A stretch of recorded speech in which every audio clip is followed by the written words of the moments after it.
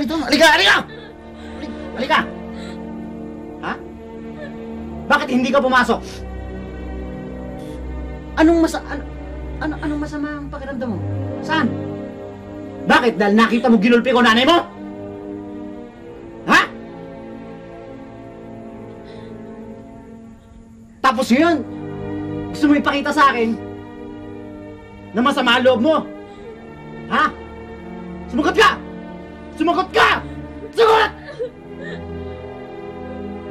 Tinatanong kita! Masama ba loob mo sa akin? Hindi po, itay. Mara, ayoko na maulit to ha. At yaman din lamang na tinatamad ka mag-aral, titigil ka na. Tay, wag ko. Huwag niyo naman po akong patigilin sa pag-aaral ko. Ay tumigil ka! Dahil hindi ko pinakikinabangan yung pag-aaral mo. Mas pakikinabangan kita kung nandito ka sa bahay, katulong ng nanay mo. Naintindihan mo ako? Tay, naglilinis naman ako eh. Kaya lang hindi niyo nakikita kasi natutulog po kayo. Naglilinis naman po ako eh. Tot- tot- Totoo yung sinasabi ng anak mo, Gary. Ah, katukatulong nga siya ni Susan sa mga gawaing bahay eh. O- Oo, at saka, at saka pakikinabangan yung pag-aaral ng batang yan. A- alam mo, Gary, kung hindi mo pa alam, ano, yung si Mara ang pinakamatalino sa kanilang klase. Alam mo, lagi may honor yung batang yan eh. Palalampasin kita ngayon ha? Ha? Palalampasin kita ngayon.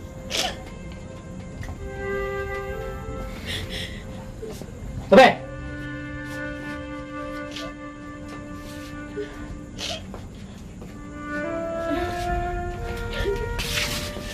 Sinakta ka din niya, Mara. Wala ka, anong ginawa sa'yo na itay mo? Hindi po nila. Nangalalan niya po ako.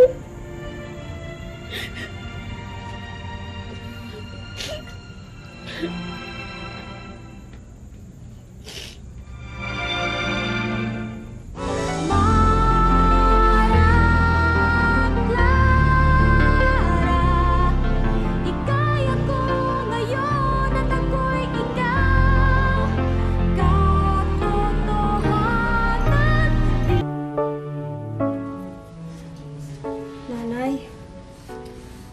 ano na ho bang nangyayari kay Clara?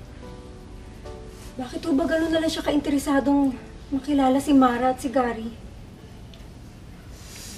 Ewan ko nga ba, Iha. Sinisisi ko nga ang sarili ko eh. Kung bakit naikwento ko pa sa kanya na nagkaroon kayo ng relasyon ni Gary nung araw. Nanay, huwag niyong sisihin ang sarili niyo. Alam niyo, kahit noong pang hindi niyo pa na ikukwento kay Clara yan, iinteresado na si Clara na makilala si si Gary at si Mara. Kinakabahan nga ako eh. Bakit gusto pa niyang malaman ang tirahan ni Mara at saka nung, nung Garing yun? Ay, naku, ka- kinakabahan ako talaga. Mira, kaya naisumbok ko sa iyo eh. Mabuti ho yung ginawa niyo. Pero, pero, baka magalit sa akin si Clara pag nalaman sinumbong ko siya sa iyo. Huwag kayong mag-alala, nanay. Hindi ho malalaman ni Clara. At ako hong bahala. Gagawa ko ng paraan para hindi matuloy yung mga binabalak nila. Ano bang pinag-usapan ng tatlong bata? Parang Jimmy, ah, pwede ba magamit ang telepono mo? Pare, may hinihintay akong tawag eh. Eh, sandali lang naman eh. O sige, bilisan mo lang ha. Pang-business lang yan, pare. Ah, sige, salamat ha. Oo.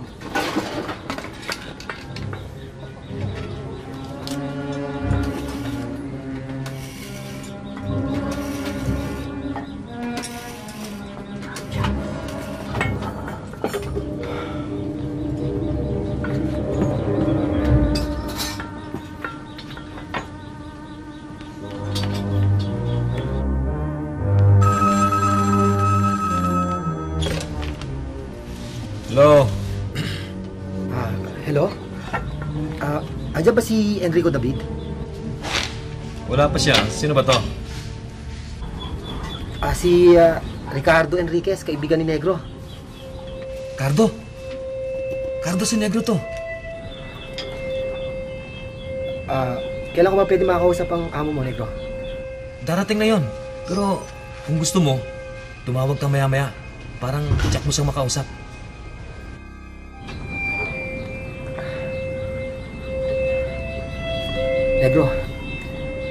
Kailangan ko makausap ng personal ang amo mo.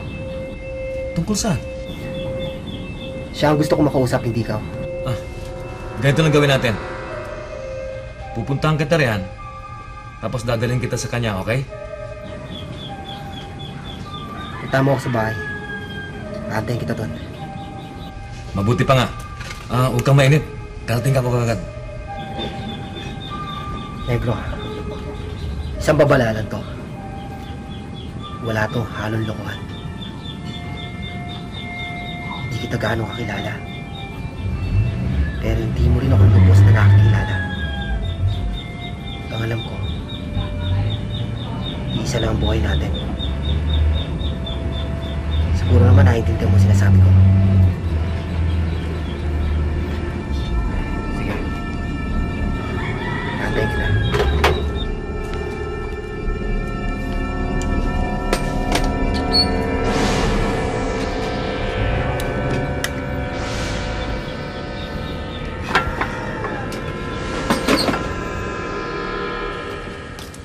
Gary. Saan naman siya pumunta? Ay, hindi na namin inalam. Siguro na andon sa mga barkada niya, taga-impyerno. Mare, ano ba naman ang nangyayari dyan sa asawa mo? Matapos kang bimbangin eh, eh yung anak mo naman ang pinagdidiskitahan niya. Bakit? Sinaktan ba niya si Mara? Mare, kahit nagkaila sa amin si Mara, kitang-kita ang baka sa mukha sa bata at namumula pa. Naku, inabutan ko nga sinasabunutan niya si Mara eh. Ano ba naman niya si Gary? Bakla at nananabunot? Bakit ano naman ang ginawa ni Mara pati yung bata sinaktan? Mare, ano ba naman ang pwedeng gawin ng anak mo laban dun sa barumbado niyang ama? Pwede ba? Alam mo, siguro, siguro nalaman ni Gary na nagsumbong sa amin ang, ang anak mo dahil sa ginawa niyang pananakit sa'yo. At saka, at saka inabutan kong iyak na iyak si Mara sa loob ah. Ang sama-sama ng loob ng bata dahil sa sa pag-aaway ninyo mag-asawa. Mare, saan ka ba galing kanina? Sumasagsag ka nung nasa lubong kita. Ni hindi mo na ako nakuhang batiin. Naningila ako ng mga pautang ko sa palengke. Ba? Mukha yatang napaaga ang paniningil mo. Bakit? Nilustay na bang lahat ni Gary ang mga natitirang pera mo? Alam mo kung tutuusin, ikaw may kasalanan ng lahat eh. Dahil panay ang pagkonsinti mo kay Gary. Alam mo, hindi ako magtataka kung minsan makita kitang naglalabada na naman. May maitustos ka lang sa bisyo ng lalaking yon. Pwede ba? Huwag niyo na muna kaming pakialaman. Naririndi na nga ako sa problema. Pati ba naman kayo ako pa rin nasisisihin niyo? Huwag ka na muna magdala ng pera. Pero boss, mas interesado siya kung may dalang pera para sa kanya. Bobo ka talaga! Eh di ba siyang tumawag dito at magpapasundo raw siya? Isa lang ibig sabihin nun. Kahit wala kang kwarta, papayag siya makipag-usap sa akin. Kasi boss eh, tsak na bibigyan niya ako ng balato pag binigyan siya ng pera eh. Yun ang sabihin mo. Kahit kailan talaga mukha kang kwarta. Sunduin mo na siya. Sasabik na ako, negro. Ngayon, malalaman ko na kung ano yung iniingatan nilang lihim ni Gary at saka ni Amante. Ngayon na ang panahon.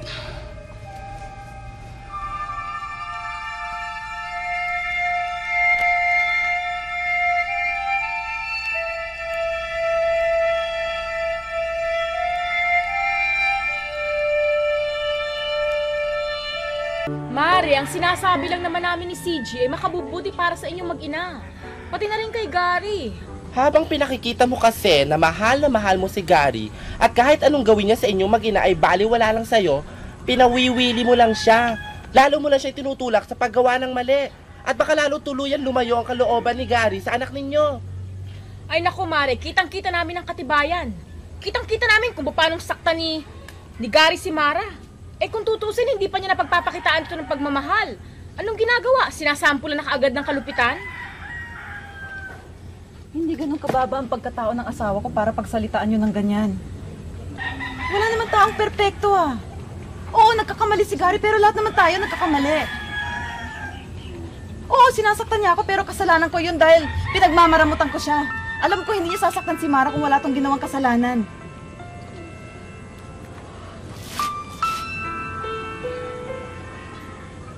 Nakikiusap ako sa inyo, huwag na nating palakihin ang gulong ito, pwede ba? Kung tunay ko kayong mga kaibigan, ikagalang niyo ang taong minamahal ko.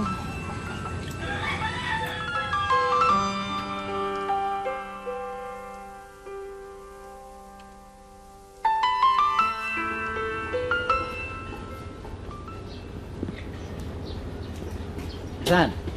Dali lang, dali lang. Sup muna tayo. Sumapabalaw mo sa akin?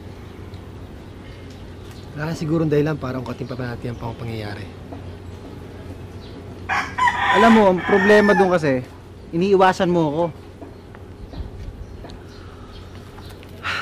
Gali, siguro dapat mag-iwasan muna tayo eh. Natulungan mo ako nun. Natulungan din kita. Patas na tayo. So, ang ibig mo sabihin, wala ka nang ka-interest-interest doon sa pagkakakwartahan ko na may kaparte ka. Maraming maasa sa'yo. Sila na tulungan mo. Ikaw kasi ang gusto kong kasama, Cardo. Ngayon, kung dahil dun sa nangyari sa atin, kaya ganyan ka sa akin, hindi ko sinasadya yun. Medyo nabigla ako, kaya nasuntok kita. Eh, kung gusto mo naman, para makagaang sa sama ng loob mo sa akin, sapakin mo ko. Baka mo ako, hindi sa sama loob ko, Cardo. Magkasundulan tayo. Ano? Sige ito. Dali.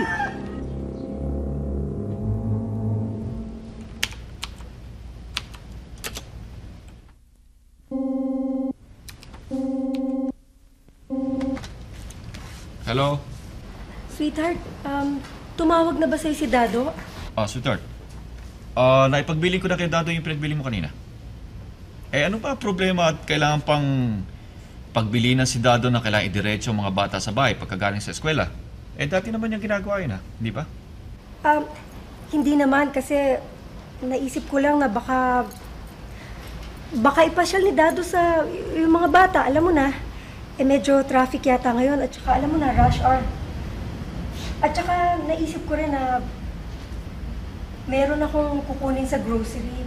Eh ayoko naman masyadong gabihin. Eh, huwag kang mag-alala at nabanggit ko na kay Dado yan.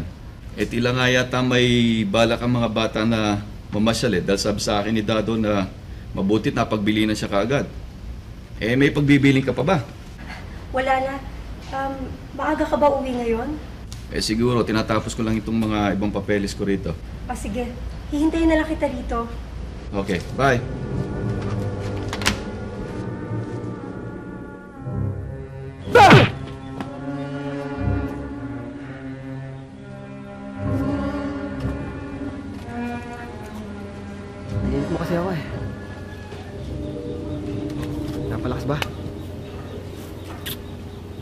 Mahina nga eh, dapat tulog ako eh. Ulitin natin. Wag na, baka gumanti na ako. Ano? Sumababalaw mo sa akin? Limutan na natin yung mga pangyayari. Ang, ang maganda sa nangyaring to, kasundo na tayo. Di ba? Di... Kasama ko ulit sa mga plano ko. Makakatanggi pa naman ako sa'yo.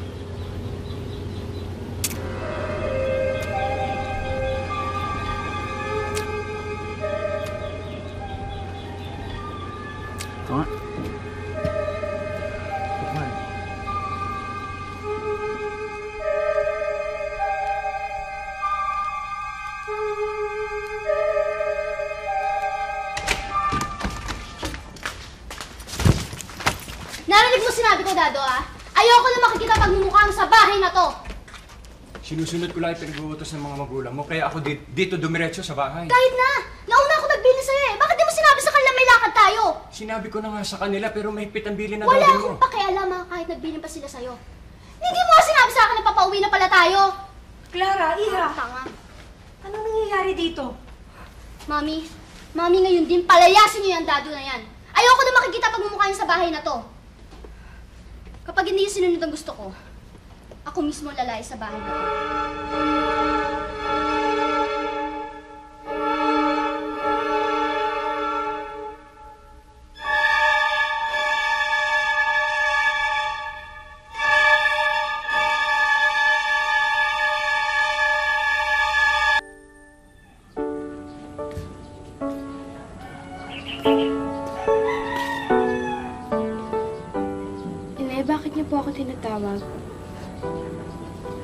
Totoo bang sinaktan ka ng itay mo? Sabihin mo sa akin ang totoo. Opo. Bakit ka niya sinaktan? Eh kasi, akala po niya hindi ko po kayo tinutulungan dito sa bahay. Yun lang? Nagalit po siya sa akin kasi hindi po ako pumasok sa eskwelahan eh. Inisip po niyang nagtatampo ako sa inyo dahil sa nakita kong pagsakit niya sa inyo. Yun naman ang totoo, di ba Mara? Lagi na lang sumasama ang loob mo sa itay mo. Eh, Inay, ayoko lang po kasi nakikitang may nangyayari sa inyo eh. Pwede ba, Mara? Huwag mong intindihin kung ano man nangyayari sa amin ng itay mo. Huwag mo kami pakialaman. Pati tuloy si CG at si Lagring ay nadadamay sa kalguluhan dito dahil dyan sa kaartihan mo. Inay, kasi po, ayoko pong may nangyayari sa inyo eh. Ipikit mo ang mata mo at magbingi-bingihan ka. Baka akala mo kakampihan kita dahil sinasaktan ka ng ama mo. Matigas ang ulo mo eh. Ilang beses ko na ba sinabi sa'yo, huwag